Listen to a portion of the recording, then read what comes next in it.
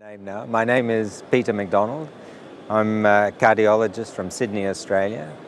I've been in Spain for two weeks with my wife and my youngest son, and uh, we've walked part of the Camino de Santiago, starting at St. Jean Pied de Port, and we made it to Logrono. But then I had to come here for this meeting. So it's, uh, it, it's a mixture of emotions because um, it's a physically very demanding walk uh, but it's also spiritually demanding as well. And I noticed on the day one when we walked over the Pyrenees, there were quite a few memorials of people that had obviously collapsed on the Camino.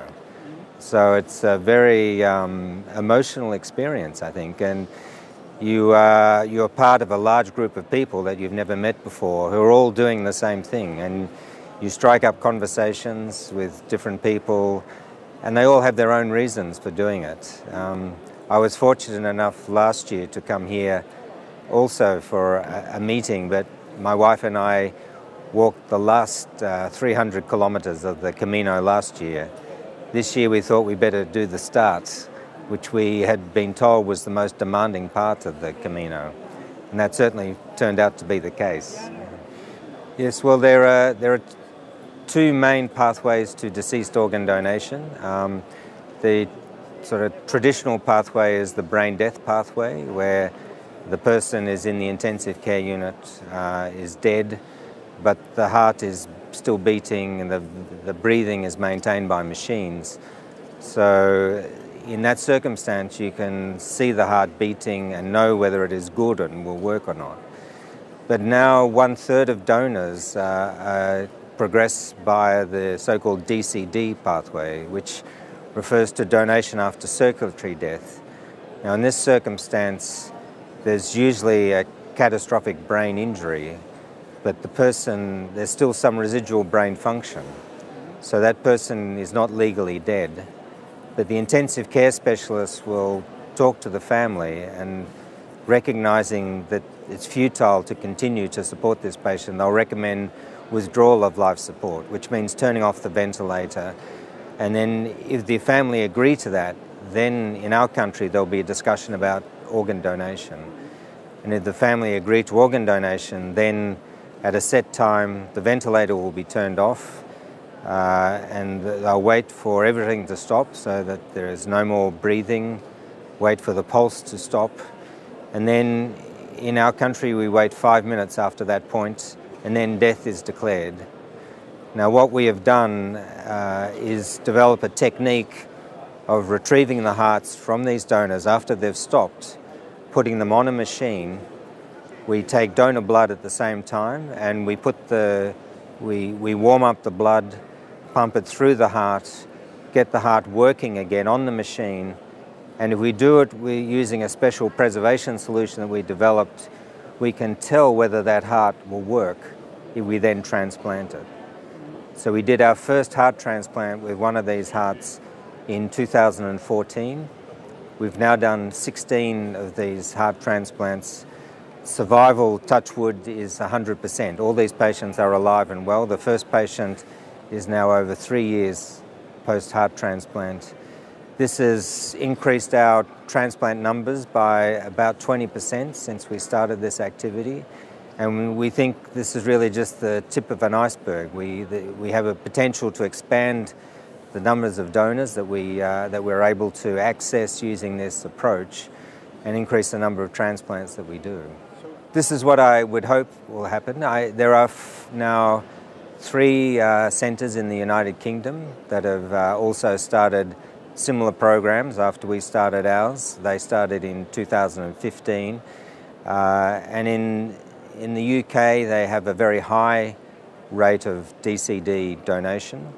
Uh, I think 40% of their donors are via this DCD pathway.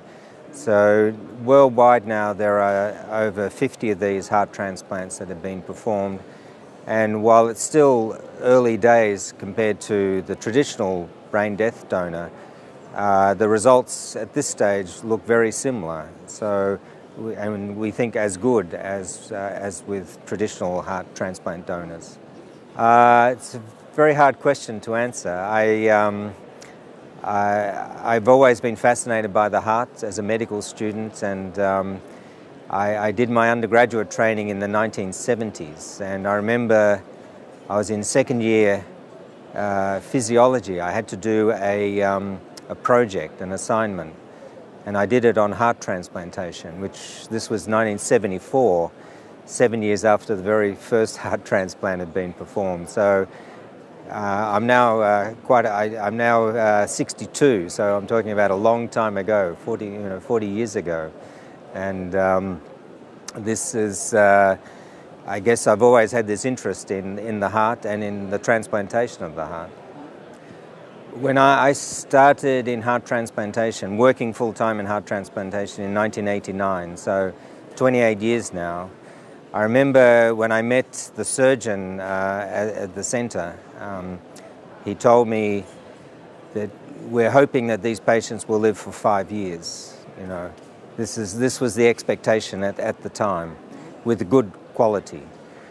Now we have patients that have lived over 30 years with heart transplants, and our average survival in our program now is 15 years.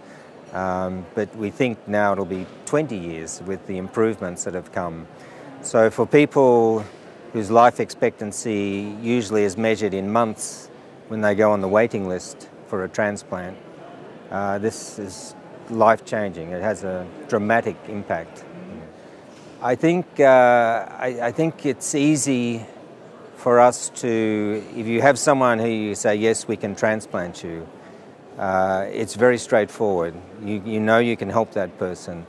I think the hardest part of, of my job as, as someone who assesses people for transplant is when you come across the person who, for one reason or other, can't be transplanted because of other health issues that will prevent them from making a good recovery. I think this is the hardest uh, part of the job is having to say no to people who you know are going to die in a short time without, without a transplant definitely.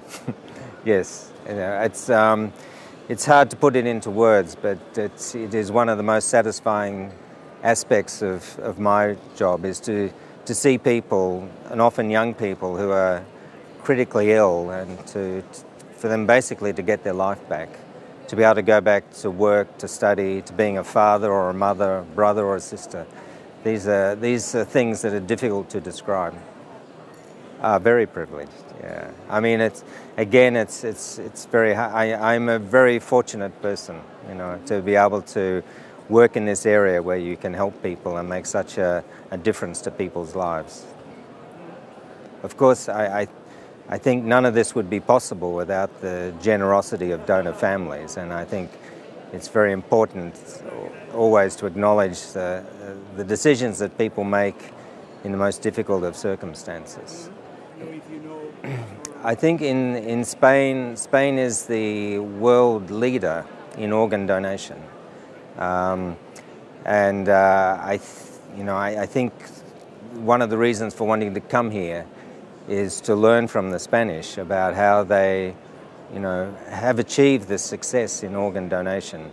Um, also, I think the, you know, the transplant outcomes achieved in Spain uh, you know, are equal to the best in the world as, as well. So not only do you have the best, the highest organ donation rate, but you have excellent outcomes to match that. And I think that uh, is really important, and that um, is why part of the reason why people want to come to Spain. Um, I, I think it's important for the community to be educated, uh, I think starting at, at a very young age. So I think uh, organ donation is such an uh, sort of an established part of medical practice uh, that I, I, think it's important that uh, we include that in the education of our children, that uh, we have broad sort of education of families and the community at large, so that, uh, so that families have conversations, so that people know the wishes of the person should the tragic circumstance occur where that person might become a donor? Well, this is uh, a difficult question for me to answer. I'm a heart transplanter. So in heart transplantation, there is no living donors. Um, I think for kidney transplantation, Uh, some people would see living donation as um, uh, something is. let me put this another way. Um, the lower the deceased organ donation rate, the higher the living donation rate has to be to compensate. So, in some, some respects, a high living donation rate can be seen as a failure of deceased organ donation. And, you know, I, I think for living organ donation, uh, donors put themselves at some risk. The risk is very small, but there is, there is a risk to the donor.